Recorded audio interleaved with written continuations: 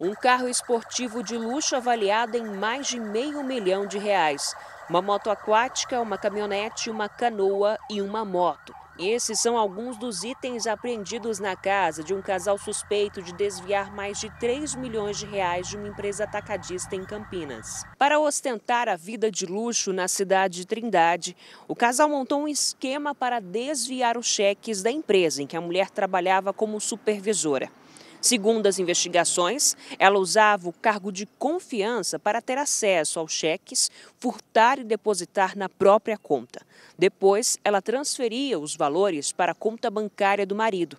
Tudo seria uma opção, uma forma de não levantar suspeitas sobre ela. Os valores, depois de depositados em favor da supervisora, eram distribuídos na sequência para a conta de seu marido, que não trabalhava na empresa. A fim de dificultar o controle da empresa e garantir o êxito dos desvios, a funcionária se valia de suas credenciais privilegiadas do sistema informático para alterar datas e informações sobre vendas e recebimentos relativos aos cheques que desviava. Na casa dos suspeitos, a polícia encontrou um pacote com cheques furtados. Na casa do casal, que esbanjava uma vida de ostentação, os policiais civis localizaram diversos objetos adquiridos com proveito do crime, incluindo itens de luxo como joias, automóveis, jet ski e outros.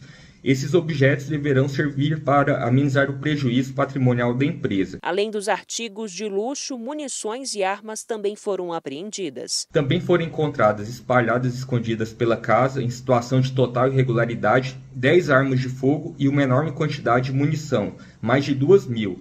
Assim, também houve a, a autuação do homem pelo crime de posse ilegal de arma de fogo e munição de uso restrito.